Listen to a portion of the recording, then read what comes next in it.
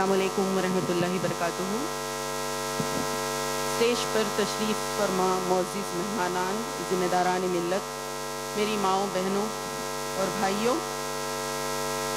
बस कुछ बातें दो चार आपके सामने आज के इस महफिल में रखना चाहती हूँ और ज़रूरी समझती हूँ। सी का जो डिस्क्रिमिनेटरी एक्ट मज़हब की बुनियाद पर शहरियत देने वाला एक्ट जब आया तो सबसे पहले इसके एहतजाज में हमारे स्टूडेंट्स तलबा तालिबात जामिया के, जेएनयू के, अलीगढ़ मुस्लिम यूनिवर्सिटी के सबसे पहले आगे आए, उन लोगों ने उसकी खिलाफ बहुत ही पुरअमन तरीके से एहतजाज किया।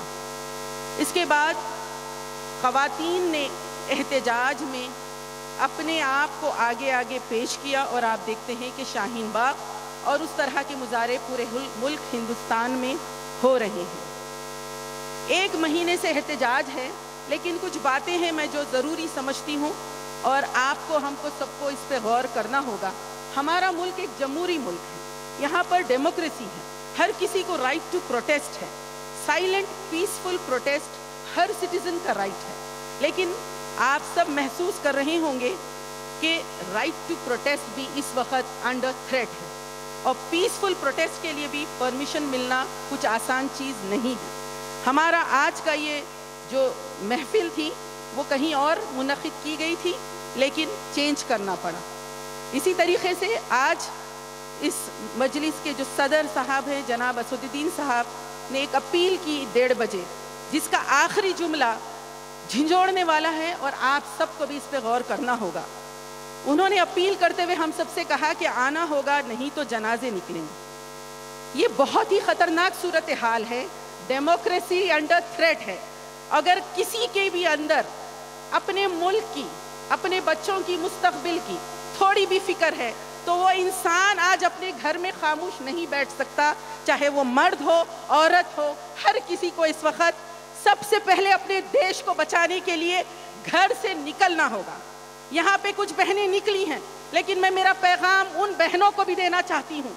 आप अपने बच्चों को पालती हैं, उनका तहफ़ करती हैं और उनके मुस्तबिल के लिए फ़िक्रमंद होती हैं। आज ज़रूरत इस बात की है कि आप इस एहतजाज में शामिल हों। बड़ी तादाद में आप शामिल हों। शाहीन बाग में सर्दी में खातन क्यों बैठी हैं? वो अपने बच्चों के मुस्तबिल के लिए फ़िक्रमंद हैं। घंटा घर लखनऊ में, जहाँ पर योगी की सरकार है, वहाँ पर खातन क्यों बैठी हैं इतनी सर्दी में? वो अपने बच्चों के मुस्तबिल के लिए फ़िक्र है। हमारी बदकिस्मती ये है कि हमारे लिए सिर्फ़ सरकार जालिम नहीं मीडिया भी बहुत बड़ा जालिम और कहा जा रहा है कि मर्द हजरात रजाई में सो रहे हैं। आ, मर्द हजरात रजाई में सो रहे हैं और औरतों को महतजाज के लिए भेज दिया गया है। मैं दो दिन यूपी में रह के आई हूँ मैं आपको बताती हूँ मर्द हजरात पर केसेस डाले गए हैं।